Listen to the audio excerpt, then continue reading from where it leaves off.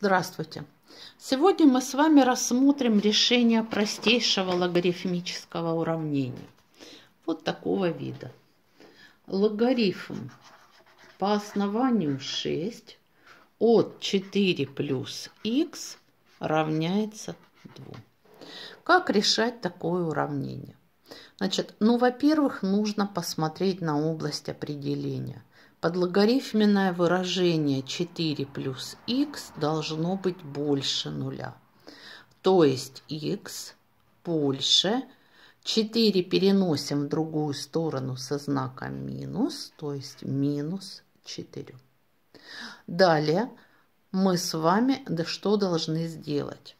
Ну вот я рекомендую способ такой. Шестерку возвести во вторую степень. То есть в то, степень которой стоит справа.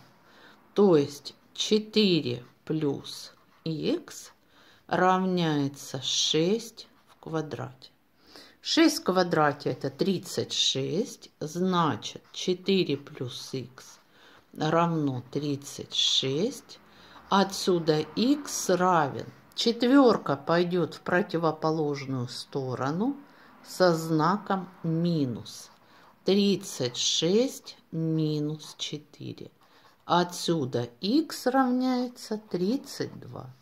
32 действительно больше минус 4, поэтому это является ответом. Спасибо за внимание.